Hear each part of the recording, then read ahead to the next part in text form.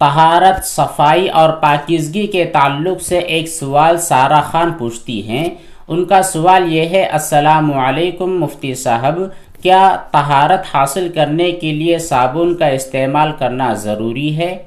तो जी देखिए, तहारत के लिए, सफ़ाई के लिए और नज़ाफ़त के लिए साबुन का इस्तेमाल करना, इसी तरह शैम्पू और किसी किस्म के क्रीम का इस्तेमाल करना ज़रूरी तो नहीं है।